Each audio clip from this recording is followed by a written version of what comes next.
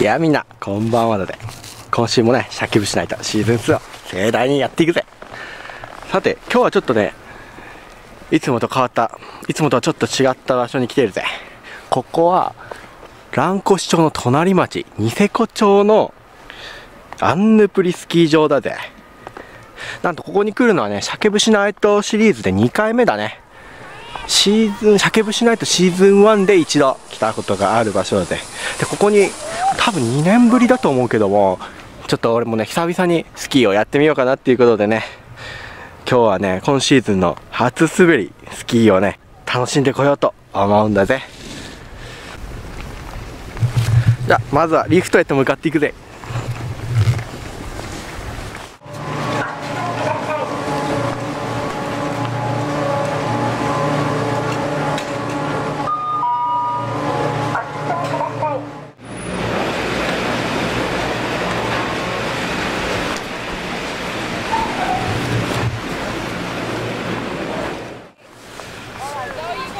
よしリフトから降りてきたね。じゃあ早速ちょっとゆっくり滑ってみるよ。い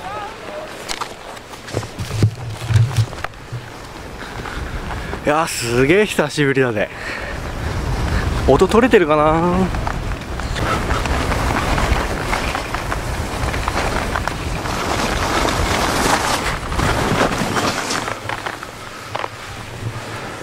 いや気持ちいいね。久しぶりに滑ったぜ。なんやかんやね今日も結構天気もいい方だしね。気温も低くないし。すごく気持ちがいいぜ。よしここアンヌプリの何て言うんだろう。もう下の方まで来ちゃったね。このまままっすぐ降りるとダイナミックコースっていうすごく楽しいコースになってるんだぜ。で右の方に行くとファミリーコースって言って、まあ、緩やかな斜面が続く感じだな。よしもうスキー行くの。こうやって滑るの2年ぶりぐらいだから。とりあえずファミリーコース行ってみようと思うぜ。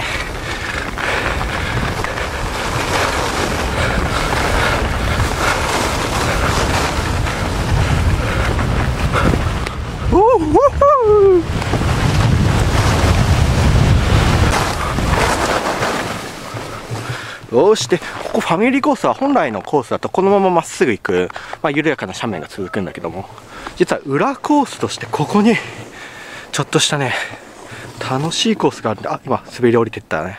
そうあの人が行った場所だね。この辺りがちょうどね川が小さな川が流れてて、まあ、今時期はほとんど凍っちゃってるんだけどもそこのね川になってる、まあ、渓谷小さな渓谷みたいなところを通ることできるんだね。ちょっと久しぶりだな。ちょっと行ってみようと思うよ。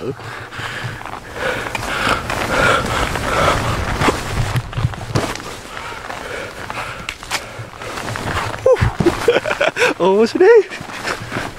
そそこんな感じで。大自然を満喫できるんだぜ。イエー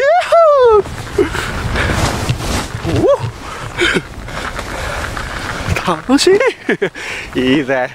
すごいね。懐かしいね。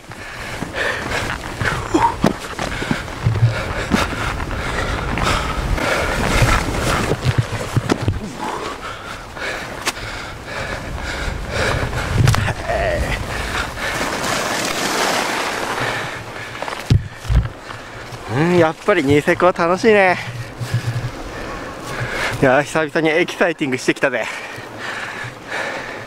よしこのままもうリフト乗り場っていうか次ゴンドラ乗ってみようかな。すっ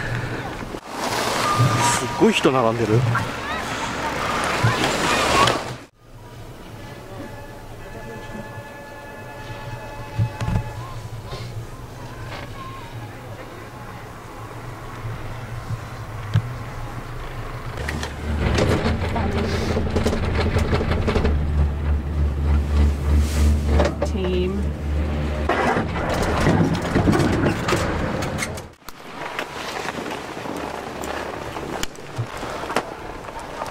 おっと山の上の方はちょっと視界が悪そうだね。雪が降ってるのかな。よしゴンドラ降りて、うん、もう一つリフトを乗り継いで上まで目指すね分かったぞこれ。これねこの視界の悪さは雪じゃなく今ね雲の中にいるんだ。俺たちは今雲の中に突入したんだぜその中でも滑ってる人たちいるね。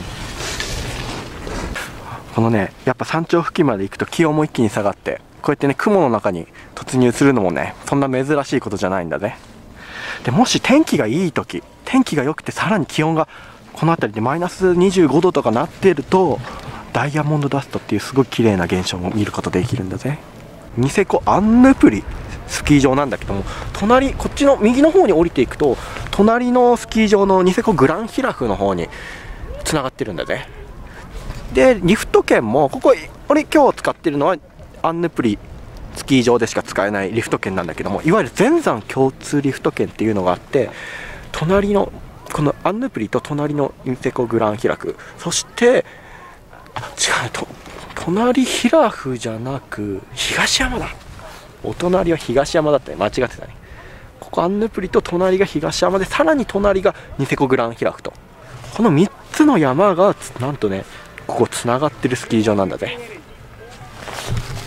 でリフト券1枚あればそのこの3つのスキー場を好きに行き来できるっていうようなシステムもあるんだぜ。よしリフト降りるよ。あでも気温低いけど。なんとかまだ大丈夫な今乗ってきたリフトそしてここねニセコにはね面白いローカルルールがあるので。以前バックカントリーでねよく遭難する人がいるよみたいなニュースなんかをみんなも聞いたことあると思うんだけどもここニセコではバックカントリーに関するローカルルールがあっていわゆるこれニセコルールっていうのがニセコにはあるんだね。ニセコのスキー場はね主にバックカントリーを、まあ、やっやってもいいというかニセコの大自然を楽しもうっていう人を尊重するというスタイルなんだねでその代わりどこでも何でもかんでもあのバックカントリーしてもいいってわけではなくきちんと決められたルールの中でみんなで楽しく自然を楽しみましょうっていうことなんだぜ。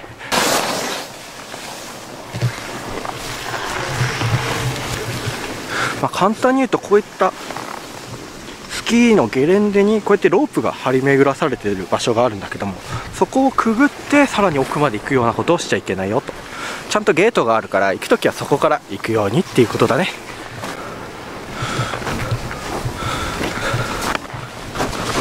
やっぱね俺個人的にはやっぱこういうところをね滑るのがすごい好きなんだよ。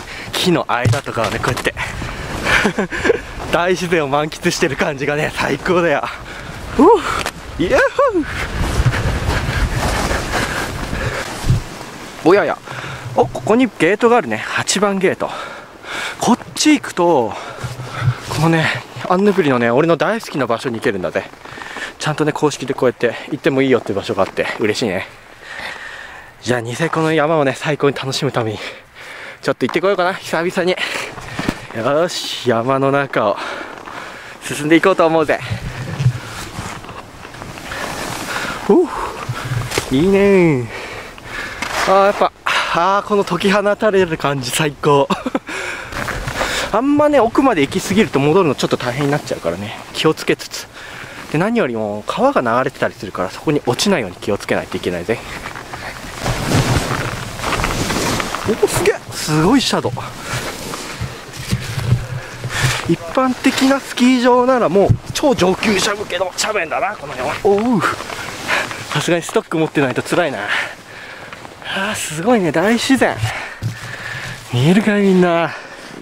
最高じゃね？こういう景色を。楽しみながらスキー滑れるって、うん。やっぱねこうやって大自然を楽しむのがねニセコの醍醐味だね。用意されたステージだけじゃ物足りないもんねみんなもね。すげえ久しぶりだぜ。でこの辺りは雪崩がねあの起きる時もあるから。それにも注意しなきゃいけないね。で雪崩情報は常にニセコの公式のボード掲示板に出ているからそこで雪崩警報が出てる時は絶対にこういう地域にね立ち入っちゃいけないっていうことなので。よし。じゃあ降りていこうかな。うわすげえ楽しい。あでもこの辺ちょっと人が通り過ぎてもうパウダースノーじゃなくなってるな。昨日いっぱい雪降ったのにな。やっぱニセコは人気だな。あいいねこの辺。あこの辺楽しそう。よしよいしょで今ではねこういったところを滑る人気がもうすごい急上昇しててこういう斜面を滑るためのねパウダーパウダーボードとかパウダースキーって言われるねパウダースノー専用のスキー板なんかスキー板スノーボードなんかもね今はねたくさん発売されてるんだぜ。ごいな渓谷だぜ。楽しいね。よしじゃあ向こう側にちょっと向こうの斜面まで。行ってみようかな。よいしょおおすげえ。すげえ角度。よいしょよいしょよいしふういやこうやって全力で楽しんでると体も熱くなってくるね。汗だくだぜ。やー最高だな。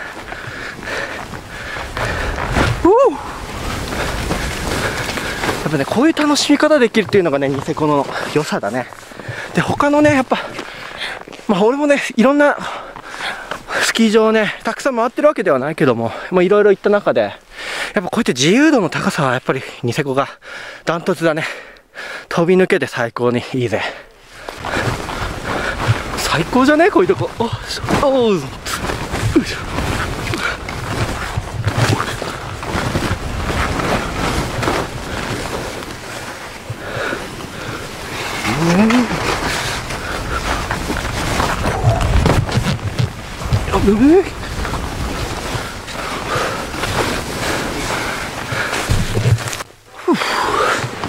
れたらこうやって斜面に直接座って一休みできるっていう良さがあるね。おお滑ってる人いるね。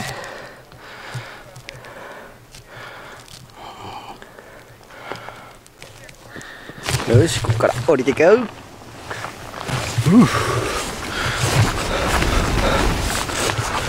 お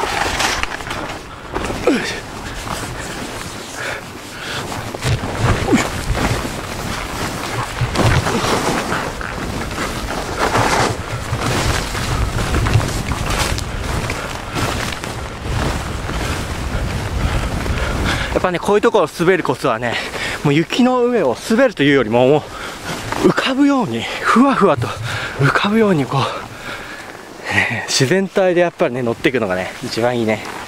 おおよいしょよいしょ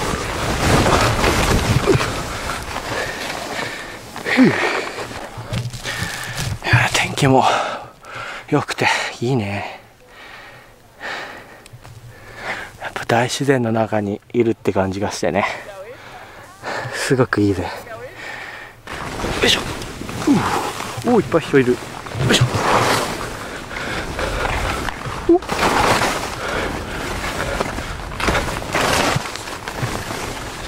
いしょほよいしょああこの辺りからすごいな高速セクションが続くぜ。行ってみようかな。よいしょ。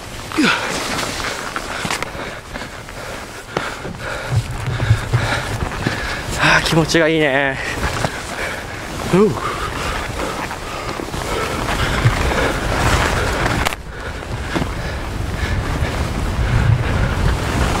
おお。すげえイエ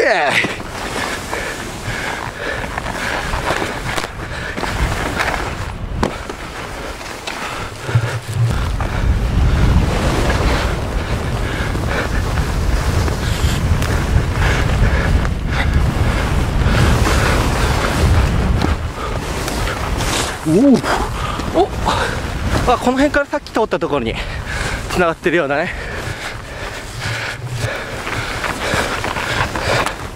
おお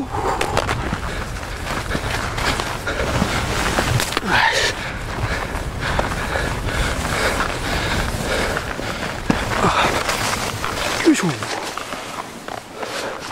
あなるほど。こっちもあるんだ。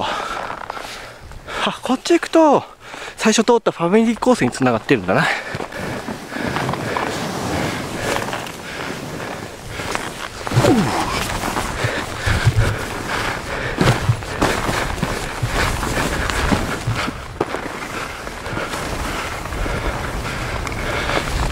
おおファミリーコースに戻ってきた。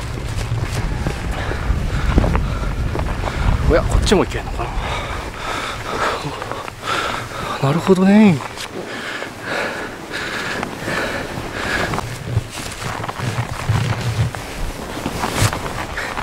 いや面白い。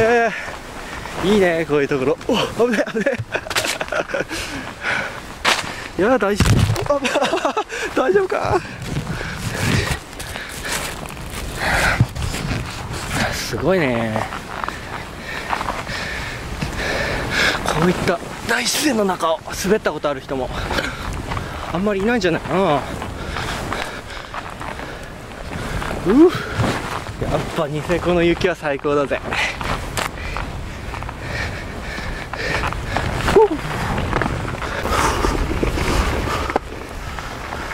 よしクワッドリフトに乗るよ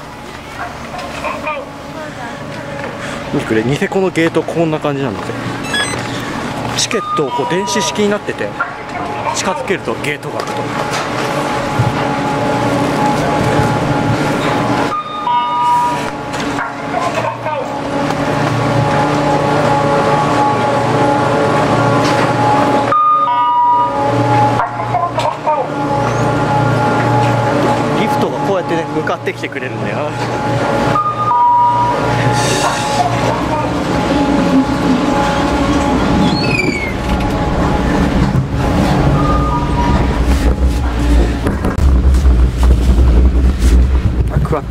終点だよフードが開くんだぜリフトこんな感じでここ自動だ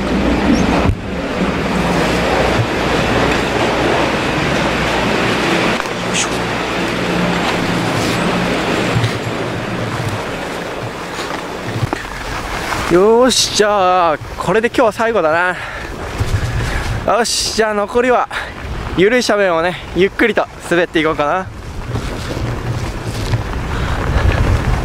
あこうやってね綺麗なゲレンデを滑るのもいいね。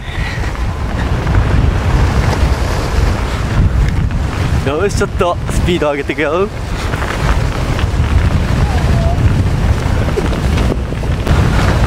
よしこのままファミリー構成と入るぜ。よし。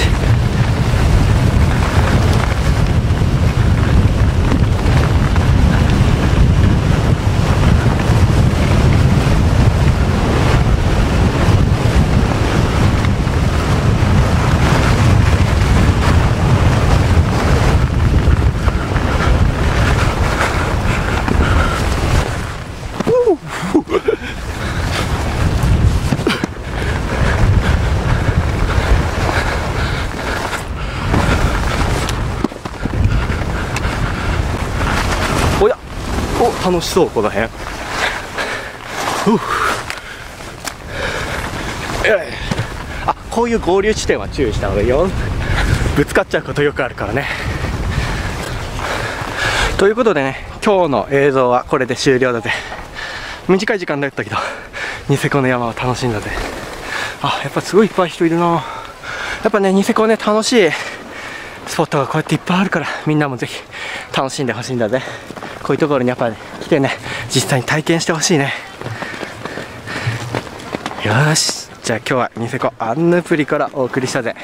それじゃあみんなもまた次週「叫ぶしないとシーズン2」で会おうぜ。今週も見てくれてありがとうだぜ。じゃあまたねだぜ。